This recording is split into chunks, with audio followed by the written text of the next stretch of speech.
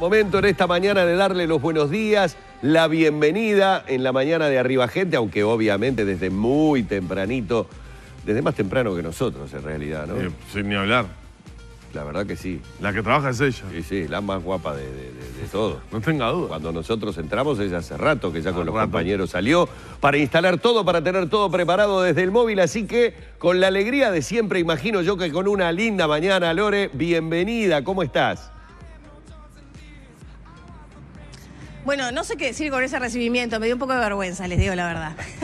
No, a nosotros nos tendría que dar vergüenza. Flores, porque hoy a las 10 de la mañana. Hoy es una mañana mucho más linda que, que la de ayer, por Claro. ejemplo. Está un poquito nublado, eh, pero está bien, bien cálido, es una linda mañana. Se nota que está un poco húmedo, un poco brumoso, pero no hace frío, que a esta altura eso es lo importante. Y está ahí el sol peleando con las nubes para poder salir, así que ya se siente su tibieza. Como les decía, estamos en el corredor General Flores, porque hoy, esta mañana, a partir de las 10, va a comenzar a funcionar. A esta hora vemos que hay una presencia de inspectores de tránsito de la Intendencia de Montevideo eh, bastante fuerte. Eh, se está organizando todo para que comience a las 10. A las 10 los ómnibus de forma automática van a comenzar a circular por este carril del medio que hasta ahora no estaba inaugurado. A partir de esta hora también ya comenzaron a funcionar eh, los, semáforos. Estuvimos hablando con los inspectores de tránsito y nos decían que durante un mes la presencia de ellos aquí va a ser más intensa, sobre todo para informar a los vehículos, a, las unidades de transporte colectivo, pero sobre todo a la gente para informarles por dónde deben cruzar, bueno, cuáles son las paradas. Por aquí van a pasar aproximadamente 25 mil personas eh, a diario eh, las diferentes paradas del corredor eh, General Flores, que va entre José Beloni y José Valle y Ordóñez, con una inversión de 9 millones de dólares eh, y medio y más de cuatro años de trabajo. A ver, voy a aprovechar y voy a cruzar, me queda un poquito lejos, pero voy a tratar de recabar la información de algunas de las personas que están en las paradas, que, toda- que son las que funcionan, ¿verdad? Que están todavía aquí sobre General Flores. Ya veo que, que ven que me voy arrimando y se esconden. Bueno, pero vamos a, a tratar de preguntar. Reitero, es a las 10 de la mañana que va a comenzar eh, a funcionar el corredor y va a contar con la presencia de algunas autoridades. Buenos días, rapidito. Hoy se inaugura el corredor eh, General Flores. ¿Qué te parece? Me parece que al fin ya, ya era tiempo, porque ya hace como dos años que lo habían construido, es una cosa así. ¿Te parece que se va a mejorar el tránsito por acá?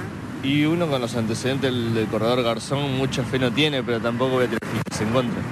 Así que hay que esperar a que... Hay que ver, exactamente. Bien, voy a preguntar. Bueno, se me van escapando acá. Buen día.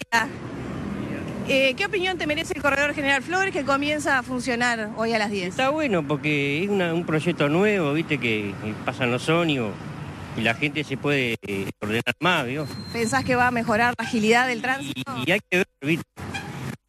Hay un trayecto chico, eh, fino, corto, ¿no? Y pasan muchos autos, ómnibus, camión. Por ahí van a pasar ómnibus nomás. Bien. Y va- va a ser, yo pienso que va a ser mejor. Así que hay que esperar. Hay que esperar a ver qué pasa, ¿no? Todo se, se puede, hay que probar. Muchas gracias. ¿No? ¿eh? A las órdenes. Que pasen bien. Bueno, es una de las dudas si mejorará eh, la agilidad del tránsito eh, por la zona. Ha aumentado la presencia de semáforos y esto levanta también la opinión de algunos vecinos. Tenemos que decir que ahora en vivo recabamos estas opiniones. También mientras nos preparábamos pasaron un par de vecinos, bueno, un poco enojados con, con este corredor y la inauguración del mismo. Les volvemos a reiterar que estas obras eh, se vienen realizando por un poquito más de cuatro años y que han llevado una inversión de 9 millones eh, y medio de dólares. Bueno, estoy volviendo a cruzar acá, por eso capaz que escuchan que mi voz se mueve un poco. Así está entonces la situación esta mañana en la zona del corredor General Flores. A las 10 de la mañana se va a estar inaugurando este corredor ante la expectativa de muchos de cómo será su funcionamiento luego de que el corredor Garzón, bueno, haya tenido también este, sus reparos. Lo cierto es que a las 10 de la mañana ya comienza a estar operativo y las paradas van a estar entonces ocupándose por eh, los transeúntes. 18 líneas de ómnibus van a estar pasando entonces por el corredor General Flores. Continuamos ahora con ustedes.